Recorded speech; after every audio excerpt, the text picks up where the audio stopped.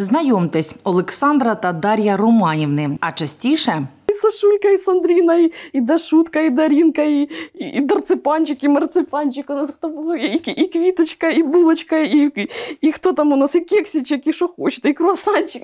так писливо називає своїх семимісячних доньок їхня мама Анастасія. Дівчатка народились у квітні цього року, і те, що їх буде двійко, спочатку дізналась вона сама. Це було дуже прикольно. Чоловік зі мною не пішов, сидів в машині, він свідомість не втратив. Каже, дорогу назад не пам'ятаю. Каже, боже, це ще як, як, каже, як. Разом з чоловіком мають власний бізнес з вирощування квітів. Весь вільний час до народження малечі присвячували улюбленій справі, розповідає Анастасія. Повномасштабне вторгнення не зупинило їх стати батьками. Здається, якби не війна, можливо, ми так би ще б і не наважилися. Ми з чоловіком 15 років разом одразу після школи. І нас цими питаннями, коли діти, коли діти, вони часом були зовсім недоречними. І коли, коли, колись. А тут настала так війна, і десь е, ну, з півроку. Кажу, або зараз, або зараз. Хоч дівчата й однояйцеві близнюки, та характер мають зовсім різний, розповідає мама.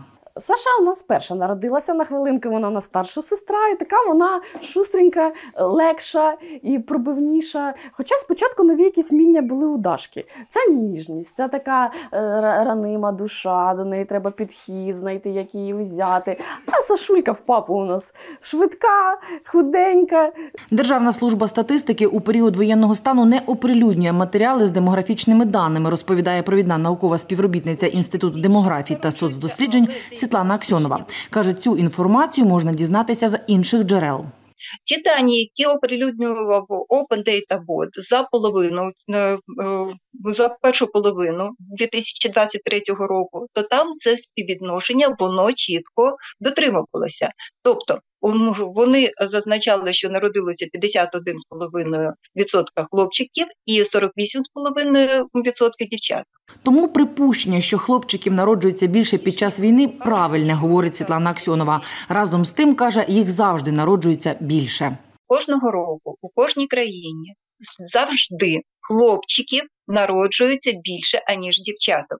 У цьому простежується певна така природна мудрість, тому що, на жаль, у хлопчиків набагато вища, аніж у дівчаток, ймовірність не дожити, тобто померти до віку о, е, зрілості.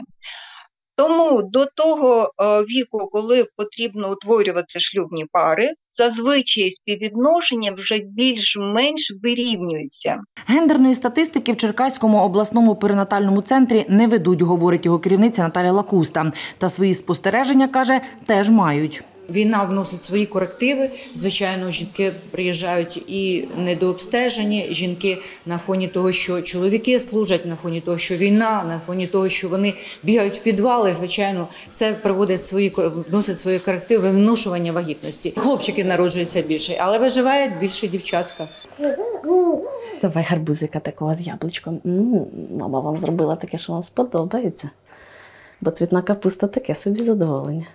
Дівчатка чи хлопчики однакова радість для кожної мами, каже Анастасія Бовт. Головне, аби малюки були здоровими та могли зростати у вільній країні під мирним небом. Я хочу, щоб ми були дуже всі разом і в Україні, в нашій вільній квітучій Україні, країні майбутнього.